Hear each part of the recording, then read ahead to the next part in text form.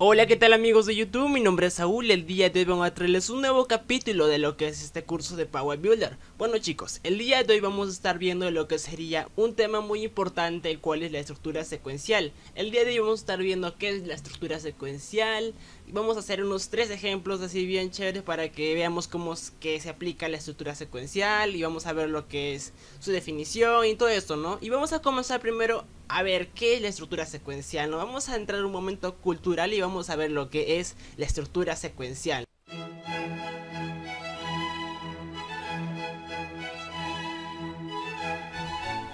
La estructura secuencial son aquellos algoritmos que ejecutan instrucciones en forma consecutiva es decir, uno detrás del otro hasta finalizar el programa.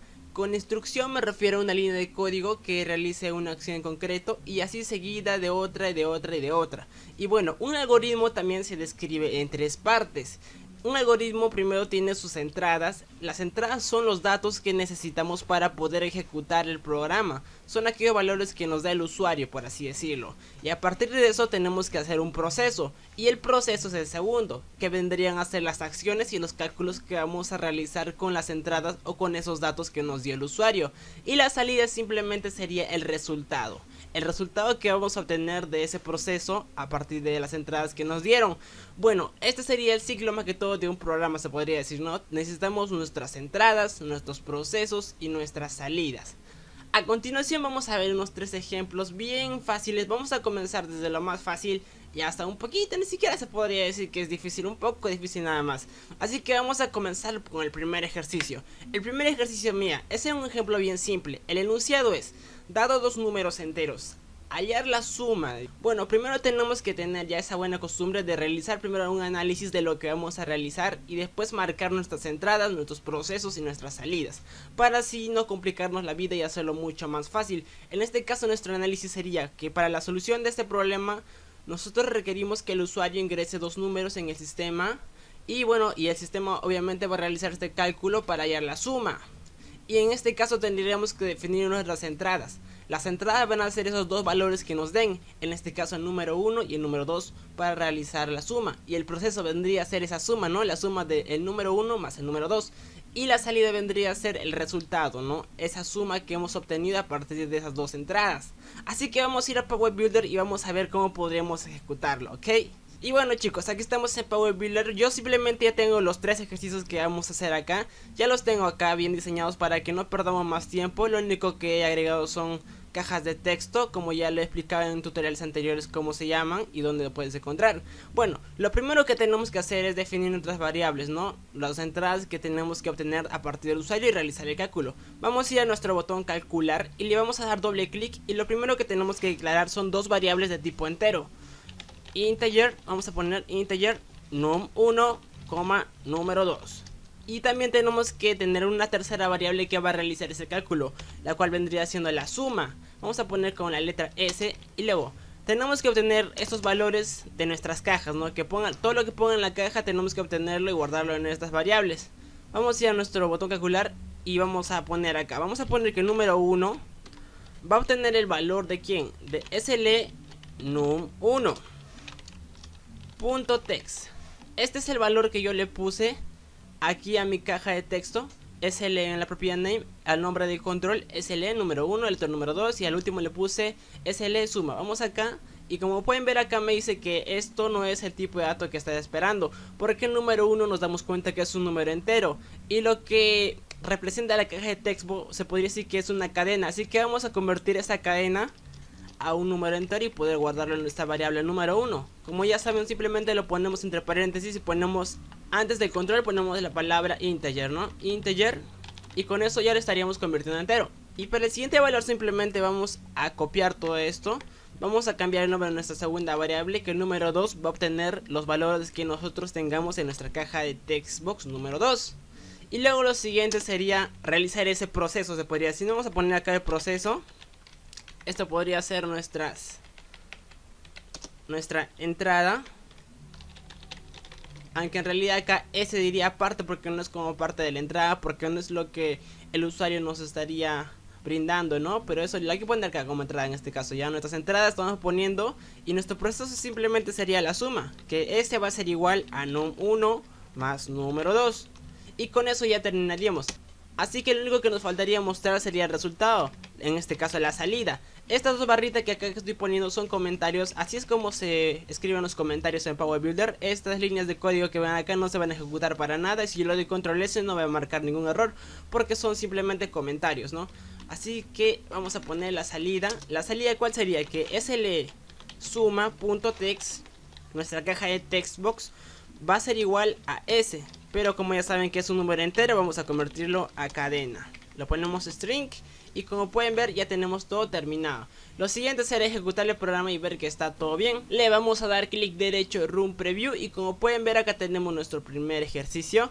En este caso vamos a poner un, valor, vamos a poner 2 y 3, vamos a poner 3 y la suma sería 5, ¿no? Igual vamos a cambiar otro valor, podemos poner 4 y 56 como pueden ver la suma sería 60 Bueno, con esto ya hemos terminado el primer ejercicio Así que vamos a pasar al segundo ejercicio Que no es tan complicado pero igual vamos a hacerlo Así que primero vamos al enunciado en el ejemplo número 2, el enunciado es hallar el cociente y el residuo de dos números. Y el análisis sería casi el mismo, solamente que nosotros vamos a ingresar dos números y el cálculo que se va a realizar es hallar el cociente y el residuo, ¿no? Y nuestras entradas serían las mismas prácticamente porque necesitamos dos valores, lo que sería el divisor y el dividendo, ¿no? En este caso vamos a poner lo que sería el número 1 y el número 2 y luego en el proceso simplemente haríamos que eh, N1 se divida en N2 para hallar el cociente y para hallar el residuo simplemente aplicaríamos lo que sería el módulo para hallar el residuo, ya les enseñé en un capítulo anterior, así que la salida simplemente mostraríamos esos dos valores, ¿no? el cociente y el residuo, así que vayamos a Power Builder y veamos cómo lo podremos hacer. Estamos en el ejercicio número 2, vamos a ir a nuestro botón calcular e igual vamos a declarar variables integer eh, num1, num2 y también vamos a declarar una variable que se va a llamar, acá se va a llamar el cociente. Vamos a poner una C, ¿no? una C y también el residuo. El residuo. Cociente y el residuo. Y lo segundo a hacer sería el proceso. El proceso simplemente ya saben que es bien simple. Lo primero que tendríamos que hacer es hallar el, el cociente que va a ser igual al número 1 entre el número 2 y con eso ya haríamos el cociente y el residuo simplemente tendríamos que poner el módulo como ya sabemos para hallar el residuo ponemos número 1 coma número 2 y con eso ya sería el proceso. El último sería mostrar en cada caja. Pero acá no estamos olvidando de que tenemos que obtener un valor en estas variables a partir de las cajas. ¿no? En este caso pondríamos que el número 1 va a ser igual a sl num1.text. Va a ser igual a todo lo que yo escriba en mi caja de textbox sl num1. Así que lo que vamos a hacer simplemente es convertirlo porque ya saben que esto se representa como si fuera una cadena. Vamos a copiar lo mismo, vamos a hacer lo mismo para los dos. Copiamos y acá simplemente pondríamos número 2 y de la caja textbox número 2. Y con eso ya tendríamos nuestro proceso y nuestras entradas. Lo último sería mostrar nuestras salidas, ¿no? Vamos a poner lo mismo, vamos a poner acá en la parte de las salidas sl cociente.text. Ya saben que es igual a string, tenemos que convertir ese valor, lo que sería la c, el valor que tenemos en la c y copiamos esto Vamos a poner acá, cambiar el nombre de la caja. Vamos a poner residuo. Residuo. Y simplemente el valor que queremos mostrar es el residuo. Y con eso ya terminaríamos el segundo ejercicio. Vamos a probarlo y vamos a ver qué tal, ¿no? Le damos clic derecho, Run Preview y como pueden ver acá tenemos el segundo ejercicio. Vamos a ingresar dos números. Vamos a poner por ejemplo en el primer número que sea 5 y en el segundo que sea 2 y como pueden ver el resultado sería el siguiente, la división entre 5 y 2 es 2 y lo que sobra sería 1, vamos a poner otro número, por ejemplo vamos a poner 10 10 entre 2 es 5 y en este caso no habría nada, no habría un residuo porque no sobraría nada en la parte inferior. Vamos a poner otro número, vamos a poner 18 y igual nada, vamos a poner un impar, vamos a poner 183 ya, calcular y como pueden ver el cociente sería 91 y lo que sobraría sería 1, ¿no? Así que chicos, vamos a pasar al tercer ejercicio, pero primero antes vamos a ver lo que sería el enunciado. En ese tercer ejercicio ya es un poquito, ya un poquito más complicado porque estamos uniendo todo lo que estamos haciendo ahorita. estamos uniendo la división, estamos uniendo el módulo y para al fin obtener estos tres valores, ¿no? Bueno, el enunciado es el siguiente. Necesitamos crear un programa que nos permita convertir la cantidad en segundos en horas, minutos y segundos. O sea, vamos a ingresar en una caja de texto, por ejemplo, una cantidad X de segundos y luego tenemos que convertirla a lo que serían horas, minutos y segundos, ¿no? Y el análisis para esta solución es en este problema se requiere que el usuario ingrese un tiempo expresado en segundos, como ya les dije, y a partir de ese tiempo nosotros vamos a obtener las horas, minutos y segundos. Nuestras entradas simplemente serían el tiempo en segundos que nos van a brindar, ¿no? Y el proceso sería de que la hora vamos a obtener a partir del tiempo que hayan puesto en la caja de textbox y lo vamos a dividir entre hora. Esa hora es una constante que ahorita les voy a explicar en Power Builder. El segundo sería que para hallar el tiempo, el tiempo en específico, tendremos que sacar el módulo del tiempo que nos están brindando y con la hora, ¿no? Con la hora, con la hora quiero explicar ahorita que son 3600 si no me equivoco. Así que vamos, vamos a pasar con el tercero que serían los minutos. Los minutos vamos a obtener a partir del tiempo que nos hayan brindado entre los minutos que nosotros ya lo vamos a ver ahorita en Power Builder porque esos son constantes que necesitamos establecerlo y el último los segundos simplemente hallaríamos sacando el módulo entre el tiempo con el minuto no y las salidas serían mostrar la hora minuto y segundo así que para explicarlo un poco mejor vamos a ir a Power Builder y les voy a explicar de qué trata todo esto ok bueno chicos, estamos en el ejercicio número 3 y como pueden ver acá tenemos nuestro diseño de formulario, tenemos cuatro cajas de textbox, el primero es SL tiempo, SL horas, minutos, segundos y nuestro botón calcular. Primero, antes que nada, tendríamos que declarar lo que serían dos constantes, la hora y el minuto. En un minuto, ¿cuántos segundos hay? Ustedes se preguntarán. En un minuto tenemos 60 segundos, ¿verdad? Así que vamos a declarar eso. Y lo vamos a declarar como una constante. La constante es muy diferente a una variable. Una variable, como su mismo nombre lo indica, va a cambiar de valor a medida que avance el programa. En cambio, una constante es un valor fijo, fijo que no va a cambiar con nada, ¿no? Así que vamos a poner una constante. Las constantes se declaran de esta manera. Se pone la palabra reservada constant y seguido del nombre o el tipo de dato, ¿no? Como las variables. En este caso necesitamos dos constantes de tipo entero, la cual sería la hora y el minuto. Primero vamos a poner acá lo que sería integer. El primero que se va a llamar minuto y va a ser igual a 60. ¿Por qué 60? Porque un minuto tiene 60 segundos y en este caso lo estamos representando de esa manera. La siguiente constante que vamos a necesitar sería la hora. Una hora. Si en un minuto hay 60 segundos, en una hora ¿cuántos habrá? Hay 3600. Simplemente tienen que multiplicar 60 por 60 porque son 60 minutos lo que contiene una hora y 60 por 60 serían 3600 segundos, ¿no? Seguido a eso tendríamos que declarar nuestras variables. Ahora sí tenemos que declarar lo que sería el tiempo que vamos a obtener de la caja de texto, los minutos, los segundos y las horas, ¿no? Así que vamos a declarar todo esto de tipo entero. Vamos a comenzar a poner integer, vamos a poner el tiempo que vamos a obtener Vamos a poner después lo que sería la, la hora, coma hora, coma minuto, coma segundo. Estas serían las cuatro variables que vamos a necesitar. Seguido eso tendremos que obtener el valor de la caja de textbox tiempo. Si no me equivoco le puse así. Caja de textbox tiempo. SL tiempo. Vamos acá a, a, la variable t. Va a ser igual a lo que nosotros escribamos en donde. En SL Vamos a convertirla a integer porque es un valor entero. La variable t. Vamos a convertirla a integer todo lo que contenga nuestra caja de textbox tiempo. Punto text. Ahora sí tenemos nuestro valor.